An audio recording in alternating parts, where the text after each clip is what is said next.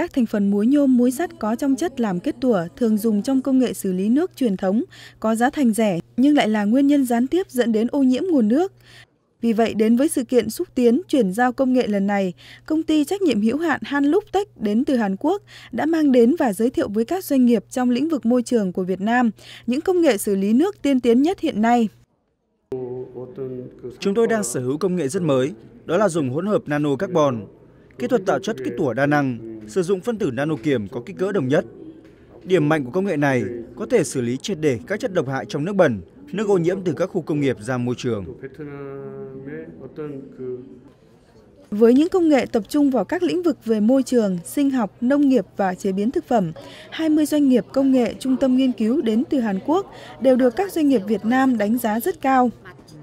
Đây là một cái cơ hội rất lớn để cho các doanh nghiệp Việt Nam và doanh nghiệp Hàn Quốc ừ, kết hợp với với nhau, đặc biệt là doanh nghiệp Việt Nam để tiếp xúc với các cái um, công nghệ mới về công nghệ xử lý môi, môi trường. Hiện tại ở Việt Nam mình thì các cái xử lý môi trường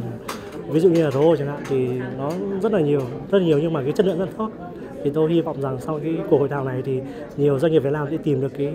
những cái đối tác rất là hợp lý ở bên à, Hàn Quốc để ra được cái phương án uh, tốt nhất để cải thiện môi trường của Việt Nam. Hiện nay, trong nhiều lĩnh vực, công nghệ của Hàn Quốc đã đi trước Việt Nam rất nhiều. Do vậy, trong bối cảnh các doanh nghiệp Việt Nam đang đẩy mạnh hoạt động đổi mới công nghệ, thì việc tiếp cận với những công nghệ tiên tiến của Hàn Quốc sẽ mang đến nhiều sự lựa chọn đem lại hiệu quả cao nhất cho các doanh nghiệp. Đa số doanh nghiệp Việt Nam là doanh nghiệp vừa và nhỏ, siêu nhỏ, cho nên là cái, cái, cái, cái, cái mức đầu tư cho đổi mới doanh à, công nghệ của họ là họ chưa chú trọng lắm. Tuy nhiên à, đổi mới công nghệ là một cái một cái, cái đổi mới rất là thông minh và những cái ai mà nắm bắt được là nó sẽ cải tiến hiệu quả kinh doanh. Sự kiện xúc tiến chuyển giao công nghệ Việt Nam Hàn Quốc lần này đã mang đến nhiều cơ hội tìm hiểu, trao đổi và thỏa thuận trực tiếp để tiến tới ký kết thỏa thuận hợp tác giữa doanh nghiệp của hai nước. Sau 3 lần tổ chức, sự kiện đã thu hút sự tham gia của hơn 50 doanh nghiệp, trung tâm nghiên cứu đến từ Hàn Quốc và hơn 70 doanh nghiệp Việt Nam, tạo điều kiện kết nối và xúc tiến chuyển giao cho hơn 10 công nghệ tiên tiến của Hàn Quốc đến Việt Nam.